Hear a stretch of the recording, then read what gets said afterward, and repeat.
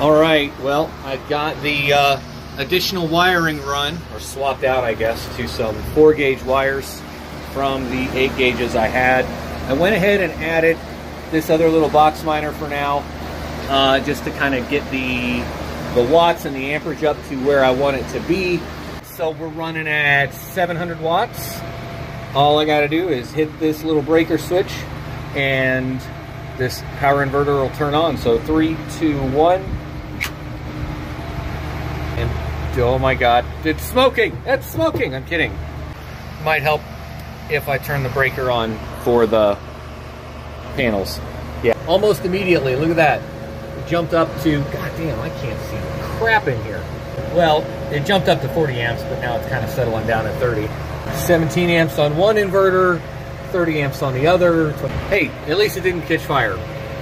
Um, yet.